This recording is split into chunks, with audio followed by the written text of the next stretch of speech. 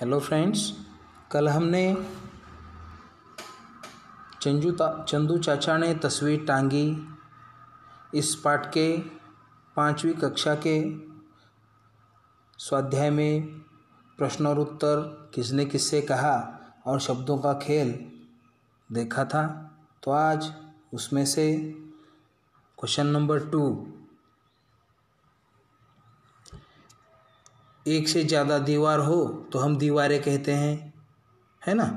तो दीवार एक वचन हो गया और दीवारें बहुवचन हो गया। जैसे कि मराठी में एक वचन अनेक वचन होता है, ओके? मैं आपको एक उदाहरण देता हूँ। जैसे कि देखो,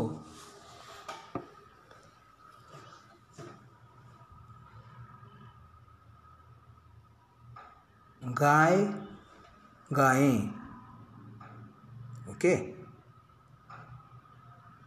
मकड़ी, मकड़ियाँ। मराठी में बोले तो गाय गाई कुत्रा, कुत्रे, कुत्री। है ना? ऐसे हम एक वचन से बहुवचन बनाते हैं। तो हमको इस स्वाध्याय में एक चार्ट दिया गया है और उसमें कुछ एक वचन और कुछ बहुवचन दिए हैं। और जिस, जहाँ एक वचन दिया है, उनके बहुवचन हमको लिखने हैं और जहाँ बहुवचन दिया है, उनके एक वचन हमको लिखने हैं। तो पहला, मेज। मेज मतलब इंग्लिश में हम टेबल बोलते हैं। क्या बोलते हैं? टेबल। मेज, उसका बहुवचन है मेजें। मेज एक वचन हो गया, मेजें बहुवचन हो गया। ठीक है? दूसरा, बिल्ली। बिल्ली मतलब मांजर, कैट। बिल्ली, बिल्लियाँ। बिल्ली का बहुवचन क्या है? बिल्लियाँ। ओके? थर्ड कमरा, कमरे। उन्होंने बहुवचन दिया है इधर, कमरे। तो हम उसका एक वचन कर सकते हैं, कमरा। ओके? चौथा, रुपया। मतलब एक रुपया। और ज़्यादा हो तो रुपये। दो रुपये, पाँच रुपये छः रुपये, सात रुपये, आठ रुपये, दस रुपये, है ना?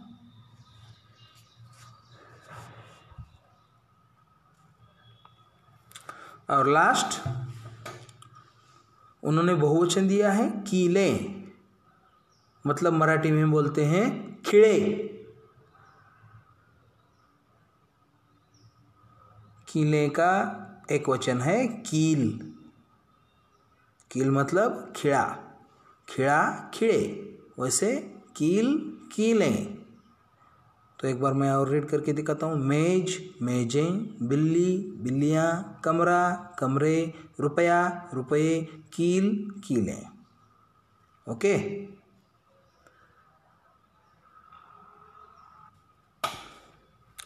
प्रश्न तीसरा। इस नाटक से मुहावरे छाटकर उनका वाक्यों में प्रयोग करो। इस नाटक में जितने भी मुहावरे आए हैं वो सब छाँट कर उनका वाक्यों में प्रयोग करो। तो मैंने ऐसे छह मुहावरे ढूंढ के निकाले हैं और उनका वाक्यों में प्रयोग करके दिया है। आपको अभी जो मैंने प्रश्न लिया था, एक वचन, बहुवचन का और ये भी मुहावरे का तो ये दोनों अपने नोटबुक में लिखने हैं। ठीक है? अभी मैं रीड करता हूँ पहला मुहावरा। फुसलाना। फुसलाना। इसका अर्थ है लुभाना, खुशामद करना। तो एक वाक्य मैं बताता हूँ आपको। चंपा चाची चंदू चाचा को फुसलाकर बाज़ार में ले गई। शॉपिंग करने ले गई होगी। चंपा चाची चंदू चाचा को फुसलाकर बाज़ार में ले गई। दूसरा, तेईस में आना। तेईस में आना। और इस मुहावरे का अर्थ है कठिनता से धैर्य धारण करना। मतलब उसका धैर्य तो समाप्त हो गया होता है, पर फिर भी वो धैर्य धारण किया हुआ रहता है कठिनता से। तो तेईस में आना, इसका अर्थ है कठिनता से धैर्य धारण करना। और उसका वाक्य देखो कैसे होता है? चाचा ने तेईस में आकर बहुत सारे वादे किए थे। चाचा ने तेईस में आकर बहुत सारे वादे किए थे। तो ये हो गया दूसरा। तीसरा, दांत पीसना।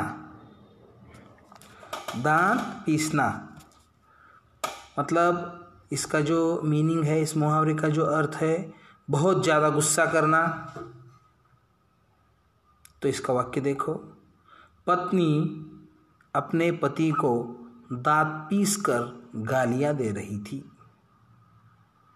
पत्नी अपने पति को दांत पीस कर गालियाँ दे रही थी। आप भी अगर आपको भी ज़्यादा गुस्सा होता है तो आप भी दांत पीसते हो ना ऐसे क्या बोल रहा है? पागल। ऐसे बोलते हैं ना दांत पीस कर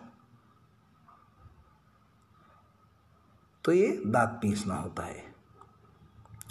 मराठी मराठी में हम बोलते हैं ना, दात खाऊन बोलायचं. है ना? दांत ओट खाने चौथा, चिल्लाना. इस मुहावरे का अर्थ है, ज़ोर से बोलना, बढ़िया आवाज़ में बोलना. तो इसका वाक्य देखो, दादी माँ चिल्लाकर बोल रही थी.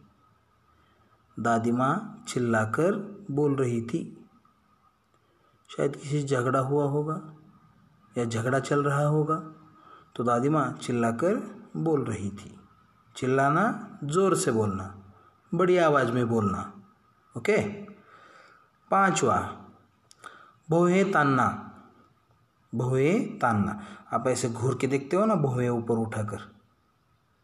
मतलब भोए तानना इस मुहावरे का अर्थ है क्षोभ, गुस्सा प्रकट करना। गुस्सा प्रकट करना, घूर घूर के देखना। टॉवेल को नीचे देखते ही, टावल को नीचे देखते ही माँ की भुवे तनने लगी। माँ ने भवे तानी, ऐसे भी होता है। मतलब हर चीज़, हर वस्तु अपनी अपनी जगह रखनी चाहिए। ऐसे नीचे टावल फेंक दिया तो टावल को नीचे देखते ही माँ की भवे तनने लगी। और सिक्स झल्लाना। झल्लाना गुस्से से बोलना। झल्लाना इस मुहावरे का अर्थ है गुस्से से बोलना। शर्मा जी झल्ला कर कुछ भी बोलने लगे। शर्मा जी झल्ला कर कुछ भी बोलने लगे। तो ये सारे मुहावरे, उसका अर्थ और उसके प्रयोग किए हुए वाक्य आप अपने नोटबुक में लिखो, उसकी फ़ोटोकॉपी मुझको अपने व्हाट्सएप ग्रुप पे भेजो या पर्सनल पे भेजो। ओके तो आज के लिए बस इतना ही। Thank you